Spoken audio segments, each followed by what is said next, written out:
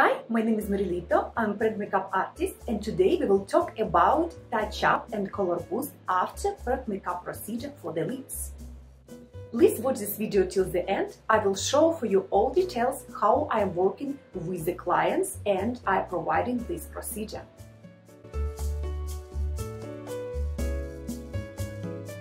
You did perm makeup procedure for the lips and your client come back to your studio after one or two months up and color boost. And sometimes you can see that your client has some gaps on the contour and some gaps on the lips inside. Let me show for you. For example, we have gaps here, here, here, and for example, something inside our lips. And we have to understand what we should do and how we will add the color for this client.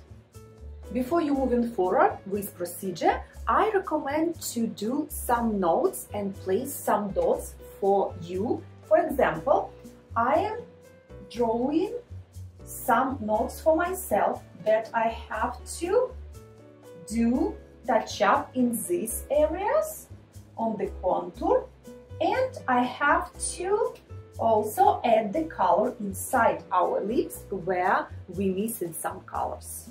When I'm working on the chap appointment, usually I'm working with needles 1.030 or 0.25 and I'm adding color on the contour here, here and I'm adding a little bit inside where I should add the colors.